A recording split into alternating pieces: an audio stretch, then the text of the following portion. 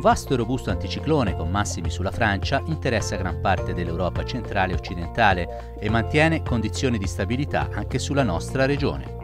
In Toscana venerdì 28 gennaio molto nuvoloso con rapide schiarite a partire dalle zone nord-occidentali in mattinata, in estensione al resto della regione fino a cielo sereno dal pomeriggio.